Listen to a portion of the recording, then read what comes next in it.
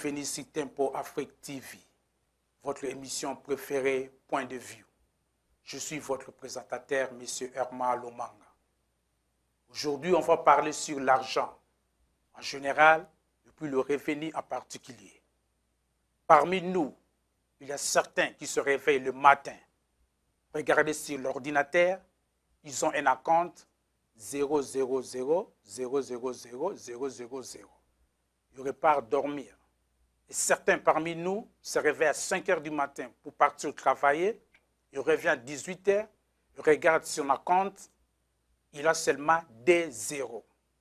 C'est pour cette raison-là, pour cette différence-là, qu'aujourd'hui, j'ai un invité d'honneur à la personne de M. Alun Sam.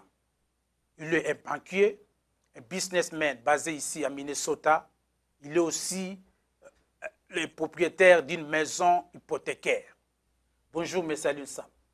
Bonjour, Herman. Soyez le bienvenu sur Tempo Affective et puis notre émission Point de vue. Aujourd'hui, on va parler sur l'argent. Alors, est-ce que tu peux nous dire qu'est-ce que signifie l'argent? L'argent, c'est un concept, Herman. Euh, ça a été créé comme moyen d'échange. Et ça date peut-être maintenant de près de 300 à 400 ans, l'argent qu'on utilise aujourd'hui. Euh, dans différents pays, il y avait d'autres systèmes d'échange. C'est-à-dire, on, est passé du troc à un système de courrier et maintenant on a l'argent, ce qu'on appelle un système monétaire. Et maintenant, l'argent réel, comme des pays aux États-Unis, ça représente peut-être 3% des échanges. La plupart des échanges maintenant sont électroniques, c'est-à-dire que ça, se passe dans un système euh, euh informatique. Pourquoi cette différence-là Qu'aujourd'hui, comme tu viens de le dire, qu'aujourd'hui aux États-Unis, euh, le système de l'argent, ça se passe plus d'un système ah, ah, sur l'ordinateur et puis euh, systématique. Pourquoi les gens n'ont plus le système d'avoir l'argent liquide comme nous, nous avons eu en Afrique, par exemple? Parce que maintenant, les échanges se passent plutôt plus rapidement que ce qui s'est passé au plus tard. Tout a été informatisé maintenant. Maintenant, le système bancaire ne veut même plus de l'argent liquide. Parce qu'il y a beaucoup d'argent falsifié qui est en circulation. Il y a beaucoup d'argent sale qui est en circulation. Donc, pour éviter tous ces problèmes-là, maintenant, ils préfèrent que les échanges se fassent d'une façon euh, numérique. On va revenir sur ça. Mhm. Mais ce qui m'intéresse plus maintenant, c'est sur le revenu. Nous, nous travaillons. On part travailler le matin, de 5 h du matin jusqu'à 18 h. On rentre. Après deux semaines, on a nos chèques. On part à la banque on fait tout ce qu'on pourra faire, mais à la fin des comptes, on ne se retrouve pas. Quand je dis on ne se retrouve pas, c'est-à-dire qu'il n'y a pas moyen que nous puissions même épargner quelque chose sur le revenu que nous avons gagné. Nous avons gagné ce revenu en échangeant les services que nous sommes en train de faire. Pourquoi ces problèmes-là, ça se pose particulièrement chez nous, les Africains? Ça, c'est une très, très, très bonne question. Merci pour cette question, Herman. Le principal problème qui se pose chez nous, c'est toujours un problème social et un problème psychologique. Ce n'est pas un problème financier. Euh, comme vous pouvez voir, on vit aux États-Unis. Il y a beaucoup de chanteurs américains, il y a beaucoup de, sportifs américains qui gagnent beaucoup d'argent. On peut prendre le cas de Tyson. Tyson a gagné plus de 300 millions de dollars pendant sa vie. Il se retrouve maintenant sans sous. Et pourquoi ça? Parce qu'on a de mauvaises habitudes. Donc, vous voyez des gens qui gagnent 1 million par an, qui dépensent 1 million 1 par an. Si vous gagnez 1 million et que vous dépensez 1 million 1 par an, vous êtes pauvre. Je vais m'expliquer. C'est comme si je prenais par exemple Herman Corporation. Il va au travail, il vend un produit, ça c'est son revenu. Quand il va travailler, les heures où il va travailler, ça c'est son, son coût. Parce qu'il faut qu'il aille au travail, il faut qu'il achète l'essence pour aller au travail, il faut qu'il achète la voiture pour aller au travail. Ça, c'est des coûts que Herman paye. Maintenant, si Herman ne voit pas sa vie comme un business, il voit ça plutôt comme une consommation, il voit une Range Rover, il se dit, la voiture, elle coûte tout simplement 15 à 20 000, il va s'acheter la voiture. OK. Mais l'essence pour l'amener au travail, ça lui coûte presque 50 dollars par jour. Herman, il gagne à la fin de la journée peut-être 150 dollars. Mais un tiers de son revenu, ça va tout simplement pour l'essence. Il n'a pas encore payé son loyer, il n'a pas encore payé pour les enfants, pour la nourriture, quoi que ce soit. Donc si Herman gagne à la fin de la journée 150 dollars et il dépense déjà à la fin de la journée 200 dollars, Herman est en faillite.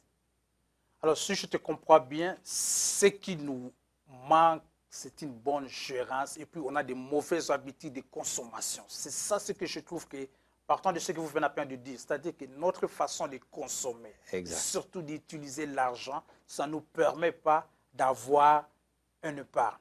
Et pourquoi c'est là ça se pose particulièrement chez nous, les Africains? Pourquoi on a cette habitude de consommer plus ce que nous amenons à la maison? C'est un manque de compréhension, de, je pense. Euh, je pense que le, y a, cette question, c'est à deux niveaux.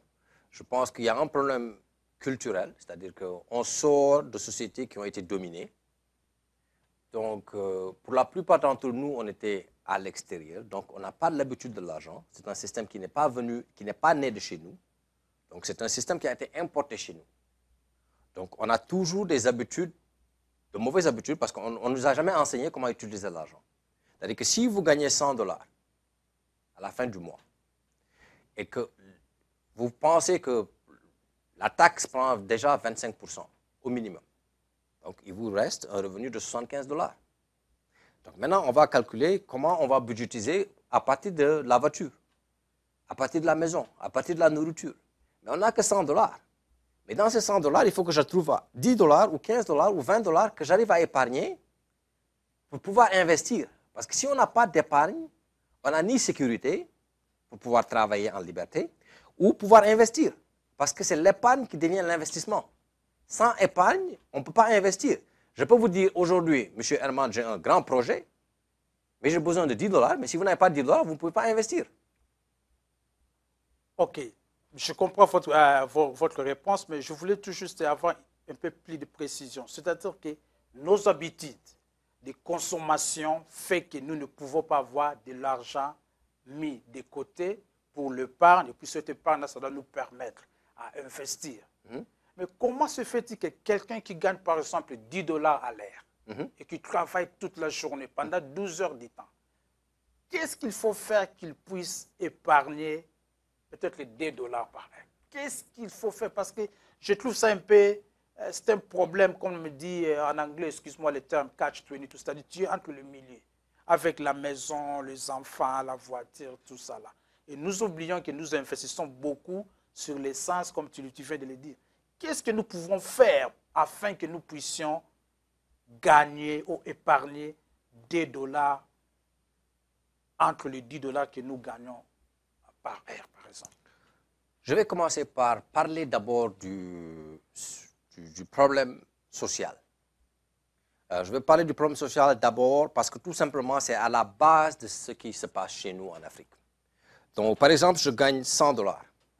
Mais dans ces 100 dollars-là que je gagne, 5 dollars vont en Afrique déjà parce que tout simplement la famille en Afrique dépend de moi. Donc en réalité, c'est une taxe. Et 5 dollars, je, parle, c'est peu. Certains d'entre nous payent 10, 15 dollars parce que je vais tout simplement utiliser une base de 100. OK. Donc si on utilise une base de 100 comme revenu et on dit que 10 à 15 dollars va tout simplement en Afrique. Et pour envoyer ces 10 dollars-là, maintenant je paye presque 50 cents pour envoyer cet argent-là. Donc c'est une taxe additionnelle que je, que je, que je, que je dépense. Donc, c'est un calcul mathématique d'abord. Le premier problème, c'est un problème social, comme je dis, c'est-à-dire qu'on vit ici, mais on a des gens qu'on a laissés derrière, avec qui qui ont besoin de notre aide. Parce que sans cet argent-là, il ne peut pas vivre. Il peut pas. vivre. Donc, euh, si on prend un petit pays comme le Sénégal, on dit que presque la moitié du revenu du pays vient de l'extérieur. Je crois que c'est un problème presque général en Afrique, parce que la plupart des pays africains, c'est si comme aujourd'hui c'était un week-end, le, vendredi, c'est le Western Union. C'est tout le monde qui envoie l'argent chez leur euh, famille, tout ça. Je voulais encore revenir un peu. Nos ancêtres en Afrique, moi je pense qu'ils étaient très très intelligents dans ce sens que, avec le système de troc, ils savaient que ma vache que j'ai, pour que je puisse faire l'échange entre ma vache, avoir les haricots, il faut cette quantité d'haricots pour équivalait la valeur de ma vache. Et moi, je comprends, je vis que nos ancêtres, ils étaient très, très économes. Et puis, très, très. euh, ils savaient comment manipuler l'argent que nous, nous utilisons aujourd'hui. Pourquoi nous, nous n'avons pas appris ça chez nos ancêtres? Parce que nous avons quitté le pays, venir ici, ou bien c'est un problème de manque de la traduction orale que nous n'avons pas hérité. Comme tu venais à peine de dire, c'est un problème social, tout ça. C'est- un tout. Euh, ce que vous venez de dire, c'est très exact. Mais ça, ça nous appartenait. Le système de troc, c'était quelque chose qu'on comprenait. C'est comme si on parlait lingala ou wolof. C'est notre langue. Mais si on se réveille le matin et on commence à parler français, la, la- la compréhension que j'ai du wolof, je peux peut-être ne pas l'avoir en parlant français parce que ce n'est pas une langue maternelle. Vous voyez ce que je veux dire? Voilà, amis téléspectateurs, je crois bien que vous avez bien compris. C'est-à-dire que la valeur d'une langue, c'est très, très important pour la culture d'un pays, d'un homme, d'un être humain. Le fait que M. Alioune vient de dire que le fait de changer la langue, tu changes la culture, et puis normalement, il faut aussi changer la mentalité. Alors, pourquoi on est arrivé ici, on ne revient toujours pas à changer cette mentalité, d'avoir des coupures. Que moi qui est ici, M. Herman, qui travaille du matin jusqu'à à 16 heures, je n'arrive pas à me retrouver. Par exemple, je travaille pendant deux semaines, je, je gagne 1000 dollars. Mais la maison que je paye, je donne un exemple, hein, la maison que je paye, euh, ça me coûte 1500 dollars par mois. Pourquoi ma consommation est plus que mon revenu Pourquoi je ne peux pas changer ma façon de faire les choses afin que je puisse épargner l'argent et aussi que je puisse investir pour un futur? Ça revient toujours au, manque à la traduction. C'est-à-dire que quand on traduit d'un concept à un autre, on n'arrive pas à nous retrouver dans cette traduction-là. Donc, euh, en ce qui concerne, en fin de compte, le problème du revenu et de la consommation, la plupart des pays africains, des Africains qui vivent ici dans le Minnesota, euh, ont un revenu qui, qui gagne beaucoup plus que la plupart des gens dans le monde. Les gens gagnent assez d'argent ici. Mais vous voulez impressionner vos amis. Donc, si vous devez prendre un appartement à 750, vous prenez un appartement à 1200. Parce que tout simplement, votre femme vous dit, know, tout le monde, tout le monde nous regarde. Comment se fait-il que nous, on vit dans un appartement de 750 alors que Lille, Pierre Jean, il vit dans un appartement de 1200. Donc, on quitte notre appartement auquel on pouvait bien vivre et on rentre dans un appartement maintenant qui nous coûte. plus, plus, Plus cher. On prend le cas de la voiture. Donc, là où les gens dépensent beaucoup d'argent, c'est dans deux trucs. C'est la voiture et c'est la maison. Et c'est deux outils de consommation qui, en fin de compte, coûtent beaucoup d'argent pour la plupart d'entre nous. C'est-à-dire qu'on achète la voiture trop chère et on paye trop d'argent pour ça. Ou bien le loyer ou la maison qu'on achète est beaucoup plus élevé que le niveau de vie où on peut être. Alors que la logique serait que si on gagne 100, que je puisse garder 50, que je puisse dépenser tout simplement 50, que je ne consomme que la moitié de mon revenu. Alors que nous, ce qui se passe, c'est que je gagne 100, mais je dépense 150. Donc, je fais le petit triangle ici à droite, je fais le petit triangle à gauche, j'emprunte ici à droite, j'emprunte à gauche. Ça, c'est les crédits cards, c'est les emprunts. Et en fin de compte, chaque mois qui passe, j'ai des problèmes.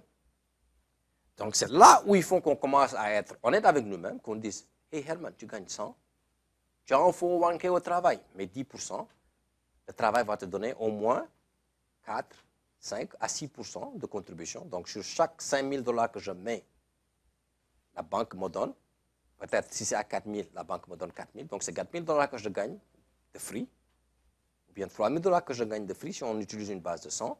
Mais la plupart d'entre nous ne, ne- ne- ne- ne- ne prennent même pas avantage de, ce minimum saving. Mais ça, merci beaucoup d'avoir à- à parler de ça parce que ça devait être mon prochain question. C'est-à-dire que nous, les Africains ici, on a cette habitude-là de voir que ok, les 401k, d'abord, qu'est-ce que signifie 401k Je n'en ai pas besoin, ça c'est- un système de blanc. Et pourquoi il, doit réduire mon salaire pour mettre ça de côté afin que je puisse avoir un bon futur? Je ne vais pas passer toute ma vie ici. Enfin, nous avons toutes sortes d'illusions qui nous amènent à la débauche. C'est ça ce que j'ai compris.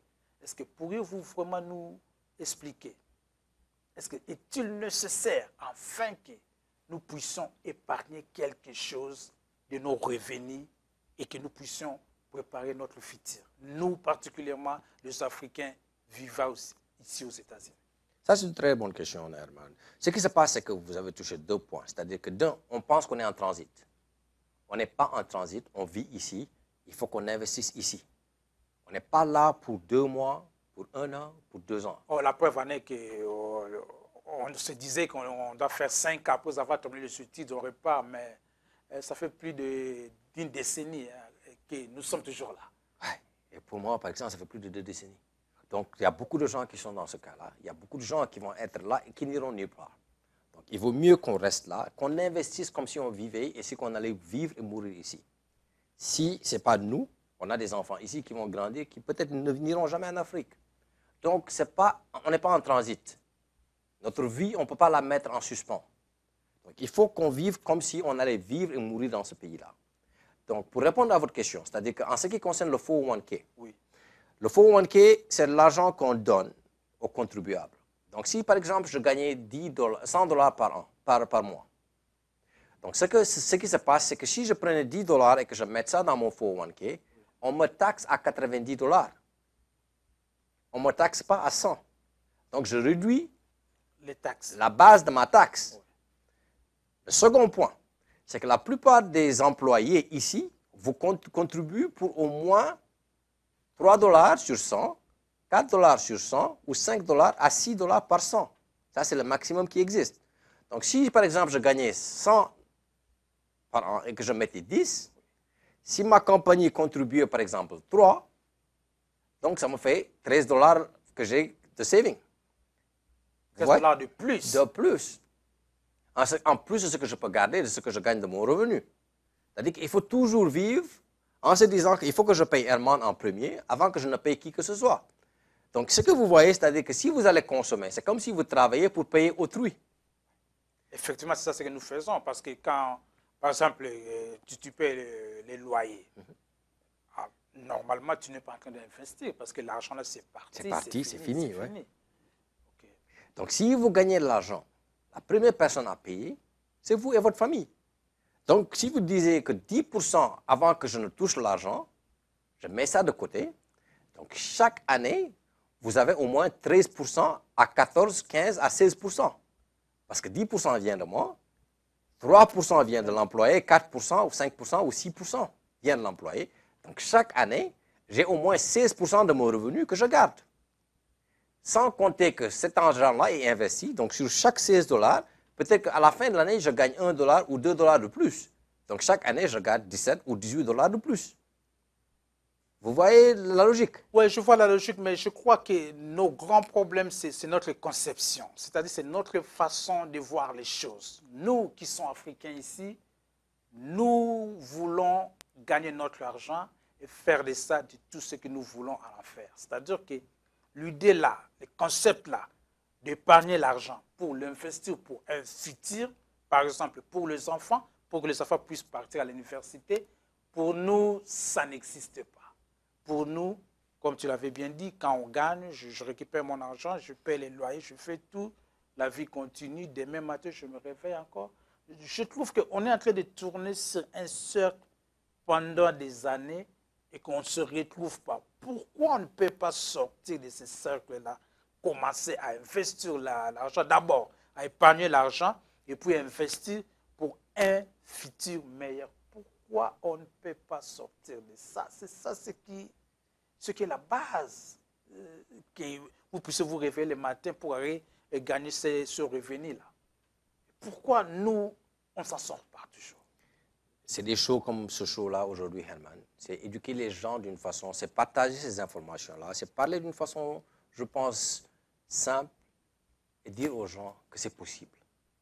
Si vous commencez très petit, en l'espace de 10 ans, vous pouvez facilement, je dis facilement, vous retrouver avec 50, 60, 100 000, 200 000 dollars, 1 million de dollars dans le compte bancaire, dépendant de vos revenus, si vous arrivez à garder au moins 10, 15, 20%, 30% de vos revenus.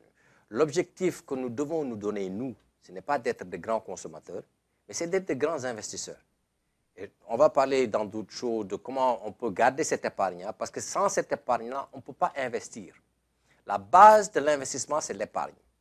Donc, sur chaque 100 dollars que je gagne, si j'arrive à garder 10, 15, 20 dollars, avec le temps, je peux prendre des risques. Parce que même si j'arrive à garder dans mon compte, par exemple, 6 mois de mon revenu pour que je dise, si je perds mon boulot, j'ai au moins 6 mois, je peux rester sans travailler, je peux rester un an sans travailler, je peux rester deux ans. Là, je peux prendre des risques pour investir, me dire, OK, je quitte mon boulot pendant 6 mois, je vais prendre le risque de travailler pour moi. Si on n'a pas cette opportunité-là, on est, on est, on est, c'est comme si on était des prisonniers de, travailleurs. Et, moi, je trouve que c'est une question, de choix. C'est-à-dire qu'on n'arrive pas à choisir que, voilà, il faut que je puisse partir au travail, travailler, gagner de l'argent et aussi faire tout afin que je puisse épargner quelque chose, que je puisse l'investir pour un futur meilleur. Mais il y a une grande différence. Il y en a aussi parmi nous, nous, particulièrement les Africains, qui gagnent plus qui ne se retrouvent même pas. Et parmi nous, il y a aussi ceux qui gagnent moins et qui se retrouvent.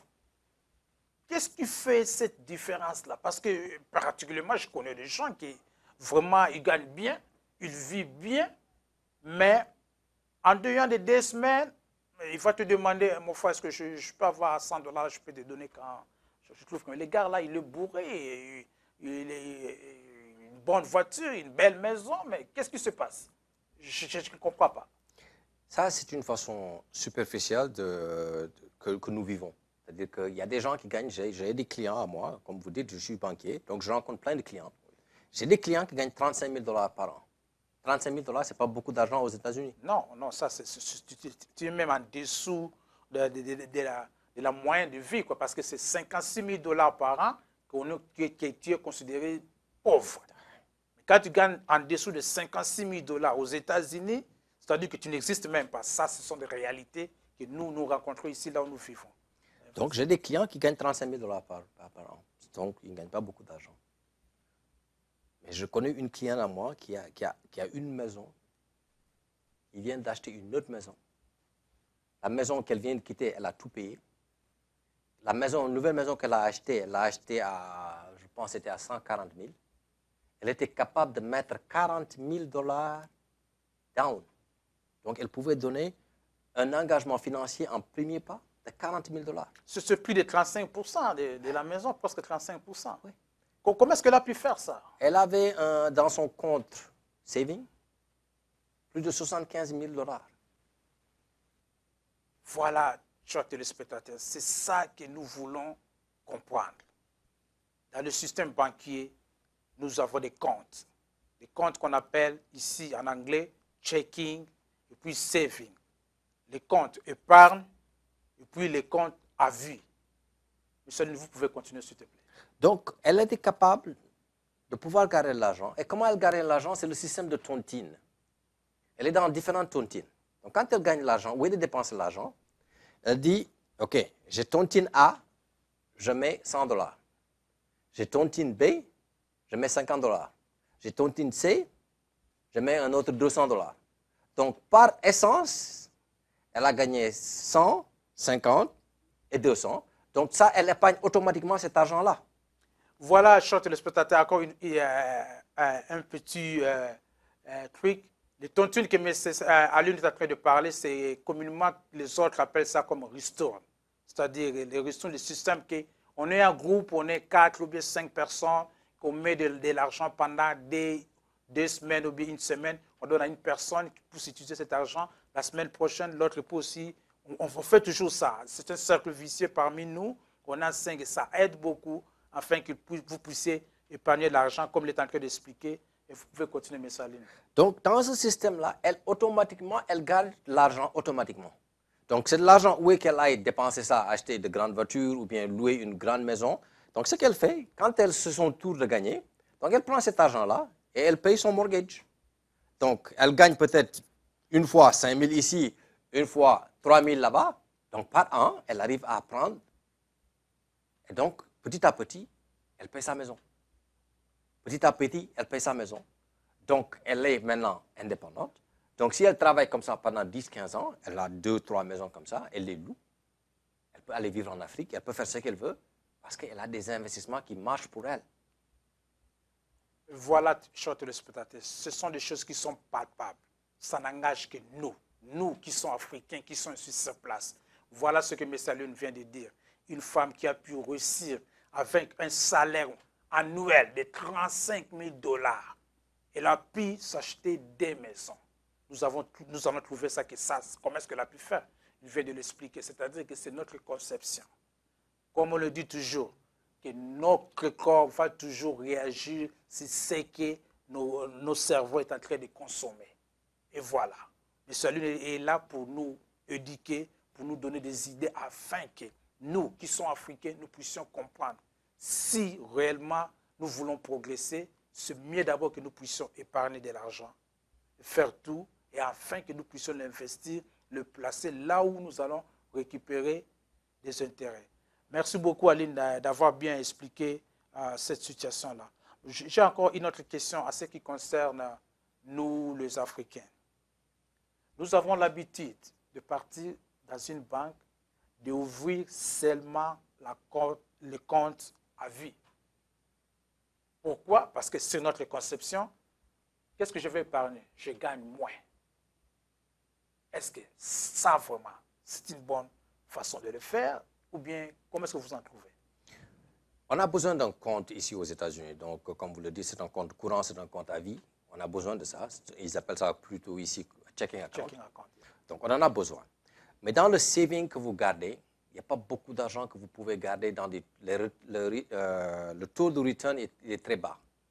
Donc, si je mets ça dans un saving account, j'ai moins de 1% de retour par an. Donc, je ne gagne pas vraiment beaucoup. Donc, ce que je conseille aux gens plutôt, il faut avoir un compte checking. Ça, c'est une bonne chose. Mais ce qui est plus important, c'est de trouver des gens avec qui on peut se mettre ensemble. Comme je parlais des tontines ou bien des, roustines, comme vous les avez appelées. Trouvez-en deux, trois. Ça ne demande pas beaucoup d'argent. Parfois, c'est 50 dollars, parfois, c'est 100 dollars. Les plus grands que j'ai vus, c'est peut-être dans les 500 000 dollars. J'ai vu des groupes où les gens mettent 1000 dollars par mois. Donc, ça, ce n'est pas tout le monde qui peut faire ça. Mais il y a des gens qui peuvent se mettre dans les 100, 150. Donc, vous épargnez au plus, au moins, 250, 300 dollars le mois. À la fin de l'année, ça fait 3000 dollars. Donc, si on vous donne cet argent-là, parce que si c'est 10 personnes qui vous donnent ces 3000 dollars-là, d'un seul coup, je gagne beaucoup d'argent. Si j'en ai deux, trois comme ça, je peux me trouver facilement avec 15, 20, 30 000 dollars d'une façon très courte. Donc, je conseille plus, et ça, c'est beaucoup plus simple, vous contrôlez ça. Euh, je trouve que ça, c'est une meilleure façon d'épargner et vous pouvez acheter. La première chose que je vais dire aux gens ici aux États-Unis, c'est qu'une fois que vous vivez ici, achetez une maison. Quand vous prenez l'argent et que vous payez ce qu'on appelle ici rent, c'est comme si j'ai un seau qui est troué et je mets de l'eau chaque mois. Je ne garde absolument rien de ce que je paye. Le loyer, ça fait partie de la vie. C'est comme manger. Donc, si vous achetez une maison, ce qui se passe, j'ai acheté une maison à 100 000 dollars aujourd'hui. À la fin de 15 ans, j'ai payé ces 100 000 dollars-là. Parce que d'un, j'avais un tontine qui me donnait peut-être 5 000, 10 000, je peux payer la maison en l'espace de 10, 15 ans, elle m'appartient à moi. Tout ce que j'ai à payer maintenant, c'est les taxes et l'assurance sur la maison. On a tous besoin d'un habitat. Ça, ça fait partie de la, de la vie. Donc, si j'ai une maison que j'avais achetée à 100 000 au départ, 10, 15 ans, 20 ans plus tard, la même maison, elle me vaut maintenant 250, 300. C'est la valeur du marché. Je vais vous donner un exemple simple. Moi, plus de 15 ans de cela, j'ai acheté une maison à 150 000. Maintenant, la même maison, elle vaut plus de 300 000 dollars. Après 15 ans. Après 15 ans. Donc, ce que vous allez vous dire, c'est que, par exemple, j'ai gagné presque 10 000 dollars. Yes, j'ai payé mon, loyer. Mais en même temps, j'ai gagné de l'argent. Si je voulais vendre la maison aujourd'hui, ça me fait peut-être 200 ou 250 000 que je peux garder dans mon compte. Donc, c'est très essentiel pour épargner de vivre dans une maison qui vous appartient. Tant que vous louez, c'est de l'argent que vous jetez par la fenêtre chaque mois. Chers téléspectateurs, je crois que vous avez bien compris ça. Ce n'est pas quelque chose qui est comme la magie. C'est votre conception, votre façon de faire.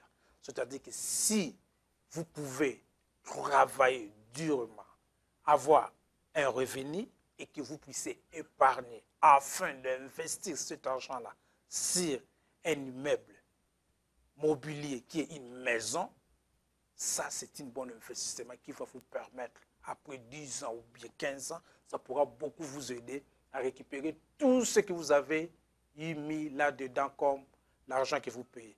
Nous qui payons toujours nos rentes, comme M. Aline venait de dire, c'est-à-dire que nous, on est en train de, euh, de jeter de l'eau sur un trou.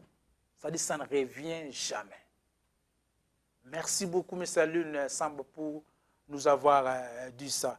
Euh, maintenant, je vais vous poser cette question. C'est un peu banal, mais c'est une question générale.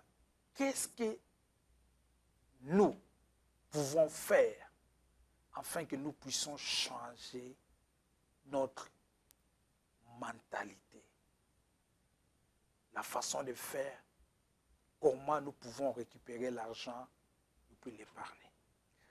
Je pense qu'en parlant de ça, et je pense que vous faites un très bon, travail ici, Herman, et merci pour ce que vous faites, euh, je pense que c'est de, nous réveiller. C'est comme un réveil mental. C'est comme si on dormait et maintenant on nous a réveillés. C'est-à-dire que c'est une façon de voir la vie. C'est une façon tout simplement d'être beaucoup plus optimiste avec la vie. La plupart d'entre nous pensons que c'est difficile de faire certains trucs. Aujourd'hui, ça coûte beaucoup plus cher d'avoir un loyer que d'acheter une maison. La plupart d'entre nous peuvent acheter une maison aujourd'hui avec tout simplement 1000 dollars dans le compte. 1000 dollars, je dis bien. Chers téléspectateurs, vous avez bien suivi ça. Avec 1000 dollars d'avant-compte, vous pouvez vous acheter une maison. Si vous voulez contacter M. Alun Sam, il va vous aider afin que vous puissiez acheter cette maison avec 1000 dollars. Le numéro va passer ici ci-dessous et que vous, pourrez les, les contacter, il va vous aider. Vous pouvez continuer, monsieur. Donc, tout ce qu'on en a besoin, c'est d'être informé, c'est d'avoir accès à l'information. La plupart d'entre nous avons déjà des préconceptions qui nous, qui, nous, qui nous fatiguent et qui nous retardent. Donc, tout ce que l'on a besoin de faire maintenant, Herman, c'est d'être éduqué. Et je pense que le plus on va parler sur ce plateau, on va discuter sur les modalités, le crédit, pourquoi c'est important pour pouvoir acheter une maison. Parce que c'est vrai, ça ne demande pas beaucoup, mais il y a il y a, il y a, il y a des modalités. Des ouais. procédures qu'il faut suivre afin que vous puissiez euh, acheter une maison. Exact. Et donc, on peut parler de tout ça d'une façon générale, ce qu'on appelle ici uh, financial planning. Uh, financial planning, ça n'existe pas chez nous. C'est-à-dire que c'est une culture qu'on n'a pas encore, d'être éduqué en ce qui concerne comment épargner, comment dépenser de l'argent, comment on va, quand on est malade, on va voir le médecin, mais quand on est malade financièrement, on ne va pas voir le médecin de l'argent. Donc, on a besoin de voir beaucoup plus des médecins de l'argent, des gens qui sont éduqués pour, qui connaissent bien les finances, qui peuvent nous éduquer en ce qui concerne le BABA, le ABC de, de l'argent, comment ça fonctionne, comment il faut travailler, comment il faut épargner. Le travail, ça fait partie, c'est le départ. Après, au bout de temps, c'est l'investissement qui vous garde. C'est-à-dire que si vous ne pouvez pas épargner, si vous ne pouvez pas dormir et avoir l'argent qui travaille, vous ne pouvez jamais vous en sortir. Il faut arriver à un stade où l'homme dort, mais son argent travaille. Donc c'est pour cela que vous avez des gens qui se réveillent, comme vous avez introduit le show, à 5 heures du matin qui ont 3 ou 4 zéros au, au plus. Il ne oh, gens... pas dormir, hein? il, est, il, est, il est mais parmi nous, moi je suis parmi ces gens-là, je regarde, c'est seulement des zéros. Je dois me réveiller à 5 heures du matin, qu'il neige, qu'il pleut, je dois me réveiller pour aller partir travailler. Voilà, c'est notre conception. C'est-à-dire que c'est notre façon de faire les choses. C'est-à-dire que nous avons besoin de l'éducation. Nous avons besoin de gens comme M. Lune, qui est un banquier, qui va nous aider afin que nous puissions nous réveiller. Ce que moi j'ai compris, ce qu'il a dit, qu'avec le peu que vous avez, et que si vous pouvez épargner quelque chose, ça pourra beaucoup vous aider afin que vous puissiez vous en sortir de cette situation que nous, nous ne pourrions jamais nous en sortir parce qu'on est comme si des gens qui sont liés. Merci beaucoup pour ça, M. Aline. Comme tu avais dit euh, auparavant, on parlait un peu de l'argent, j'avais dit qu'on va revenir sur, sur ce sujet-là euh, de l'argent. Est-ce que vous trouvez c'est très nécessaire que nous puissions vraiment mettre notre, notre argent dans une compte bancaire, par exemple? C'est important. Les gens ont besoin d'un compte bancaire parce que le compte courant, ça vous permet tout simplement de faire, de faciliter vos transactions. Que vous voulez euh, payer certains, certains, certains, comment ils appellent ça ici, bills, euh, vous avez besoin de, trouver un fonds, sinon vous allez payer par transaction. Donc il faut que vous utilisiez des services à droite et à gauche qui vont vous taxer. Donc c'est essentiel d'avoir ce, ce compte bancaire-là. Mais le plus important, c'est d'avoir des véhicules pour investir. Et quels sont ces véhicules-là pour investir? Oh, Il y en a beaucoup. On a parlé des tontines, on a parlé par exemple du stock market, c'est-à-dire ça c'est beaucoup plus compliqué, okay. mais on va en parler avec le temps pour que les gens puissent comprendre comment ça marche, comment il faut investir dans ces trucs-là. Mais pour le BABA, je dis que tout simplement épargner en premier lieu, acheter une maison en deuxième lieu, ça c'est des formes d'épargne. C'est-à-dire que si vous arrivez à faire au moins ça, le ABC de ça, ici cinq ans, le temps travaille pour vous. Parce qu'il faut que le temps travaille pour vous. C'est-à-dire que si j'ai une maison actuellement que j'achète aujourd'hui à 1 et que ici, 10 ans, 15 ans, 20 ans, ça me revient à 5, oui. donc ça c'est un investissement, c'est un Tu as épargne. gagner quelque chose. Ouais. Donc parce que je dois vivre quelque part, il faut que je paye le loyer. Oui. Il, faut, il vaut mieux que j'achète quelque chose qui m'appartienne au lieu de payer le mortgage de quelqu'un d'autre. Parce que c'est ça le loyer. Le loyer, c'est quelqu'un qui va à la banque, on lui prête de l'argent pour acheter un, un building. Moi, je paye ce, ce, ce, ce- mortgage-là. Afin qu'il puisse aller payer son mortgage. Ouais. Ça me fait mal au cœur. Parce que je suis parmi tous ces gens que M. Est en train de dire. Pour cette raison-là, je remercie beaucoup M. D'avoir été notre invité aujourd'hui, de nous avoir vraiment aidé à décortiquer et à comprendre nos systèmes. Mes frères et sœurs, merci beaucoup, c'est Tempo Afrique qui est là pour nous éduquer, afin que nous puissions comprendre nos réalités de vie ici. Aujourd'hui, on a parlé sur l'argent et puis nos ressources. On n'en a pas terminé. On aura encore le temps de faire revenir M. Lune s'il aura le temps qu'il puisse encore venir pour nous aider afin que nous puissions comprendre. Mais avant que nous puissions nous séparer, il faut avoir ceci, c'est votre idée. Quand vous vous réveillez le matin pour partir travailler, avant de quitter votre maison, faites tout que vous puissiez vous payer vous-même. C'est-à-dire, retirez parmi votre revenu quelque chose qui est pour toi et pour ta famille, afin que vous puissiez l'investir, que ça doit vous aider dans un futur proche. Je remercie beaucoup M. Moussa qui est à la cabine technique pour le show d'aujourd'hui et M. Malik Sam d'avoir nous aidé afin que nous puissions avoir cette émission euh, Point de vue certain pour Africa TV. Vous pouvez nous suivre sur Genico TV, Google TV et aussi Tempo Afrique TV Dakar. Merci beaucoup d'être parmi nous aujourd'hui. Votre émission préférée, Point de vue. Je remercie M. Alun Sam d'avoir nous aidé afin que cette émission puisse se passer dans une bonne manière. On se retrouve à la semaine prochaine, point de vue. Restez branchés, c'est Tempo Africa TV. Merci beaucoup et bonne soirée.